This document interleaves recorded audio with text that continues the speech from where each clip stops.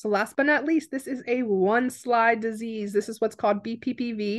And I don't even have it written out. I should have it written out. It should be benign position uh, paroxysmal positional vertigo um it's a it's quite a mouthful benign means uh you know it's not um i don't want to say it's not serious like a kid feels kind of serious when you're going through it but not benign usually like refers to cancer where it's not serious but it's not this is not anything like cancer but benign is um you know it's not long lasting so think of it as not chronic.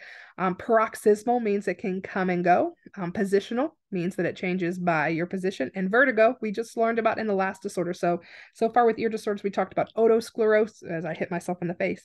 Um, otosclerosis which is just a hearing problem. We just talked about meniere's which is a hearing and a um, uh, what do you call it, a balance problem. And now we have BPPV, which is just a balance issue.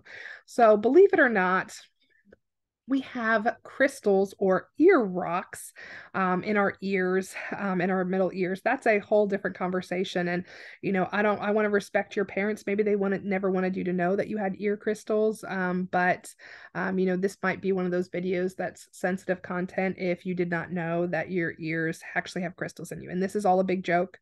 Um, so for anyone who's watching this and seeing if this is a safe video for, um, you know, anything on YouTube, uh, safe for kids, um, I promise this is just a joke. Um, needless to say, we all have rocks or crystals in our ears, um, and um, they don't really cause any problems unless they get into the wrong place. So these ear rocks can get into the wrong place, and they get into these canals that are responsible for keeping us in balance. And when they start shifting around in those canals, um, they can lead to very severe vertigo. So they, you know, these patients are going to have the exact same symptoms like in Meniere's when they have an acute attack, feel a loss of balance, vertigo, nausea, vomiting, maybe tinnitus um, or ringing in the ears, that kind of stuff. Um, there is no hearing loss with this. So this is not a hearing issue. It's just a balance issue. So all that happens is they get off balance.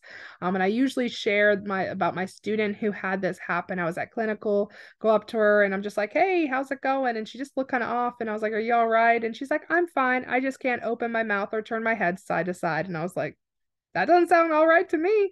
And so, yeah, needless to say, um, turns out she was having an attack of BPPV and she's like, and she was in a procedural area. And I was like, girl, you need to go home. And she's like, I can't miss clinical. I was like, you would need, you can't be here. Like, you can't stand up straight. Um, you can't even open your mouth. Like, you know, you need to go. And so I tried to get her to go down to the ER, but she's like, I'm not going to the ER here. And, you know, she's like, I'll just drive to the other hospital. I was like, you're not driving anywhere. So I had to call her husband to come pick her up and um, take her. And um, they actually did the treatment that I'm about to talk about here and got her fixed up. So needless to say, um, this is an intermittent problem. Um, while that yeah, the crystals are out of place, they're going to have symptoms. Um, the goal is to fix the problem um, and treat the symptoms effectively is what we do.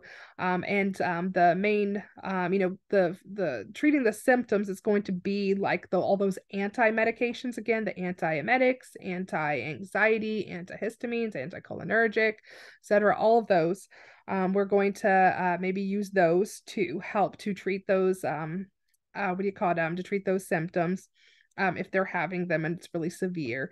Um, but in the meantime, we want to fix the problem. The ear crystals are out of place, and all I need to do is get them out of that pesky um, the canal that they're in. That's um, the wrong place. Um, so, and I can't do this as the nurse, but a doctor can perform what's called an Epley maneuver, or I think it's also known as like a canalith procedure, something like that. Um, has some fancy name, but effectively what they do. This is uh, this is a uh, I have a video on the next slide, which obviously I'm not going to show here, but you can also Google it. But this just kind of shows um, the procedure where they do they turn their head one side for so long, then they turn their head to the other side for so long and then they turn them completely on their side. And after if it's done correctly um, you know they have to wait um, they want to make sure that the ear the crystal actually has progressed and they can actually tell that by looking at the eye movement in the patient. It's pretty cool if you ever um, not for the patient but it's cool to watch if you're not experiencing it.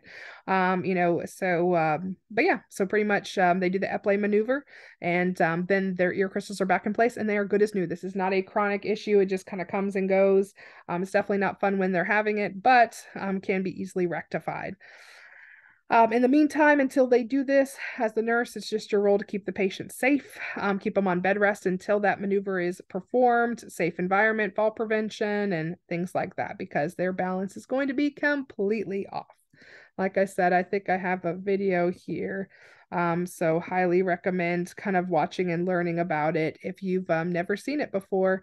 Um, it kind of helps to visualize how it might be helping. So, in this video is pretty cool. Krishana, thanks. Shout out to you for showing me about um, showing me about this video because it really it shows what's going on in the inside of the ear while they're doing each of these um, maneuvers. But anyway, um, that is it for ears disorders. I have survived it. You know, I always dream when I finish this lecture, maybe this will be the last time I have to record a lecture on this, but things change. Even ear and eye disorders change, and who Lord knows if we'll ever teach anymore. Fingers crossed, it'll just be these six for the rest of my life. But um, needless to say, I hope you enjoyed this. I hope it wasn't too painful and miserable. I try to have a positive outlook on life the best that I can. Anyway, see you later. Have a great day.